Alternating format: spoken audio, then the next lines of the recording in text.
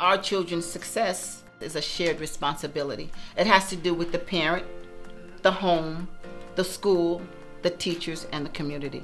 Team and family has all the more importance. It's not just, you know, a pithy phrase that we pass around, but it's something that has a lot of meaning, um, which, you know, I take it to mean we do hard things together and the support that they give is amazing. For instance, now with this whole COVID thing, for instance, they've been able to provide for the children who don't have, they've been able to provide computers for everyone. I'm excited that we're now one to one, meaning every one student has one Chromebook.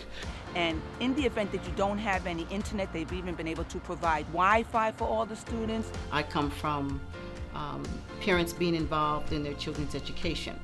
I feel like as we feel here, that if parents are involved, children do better.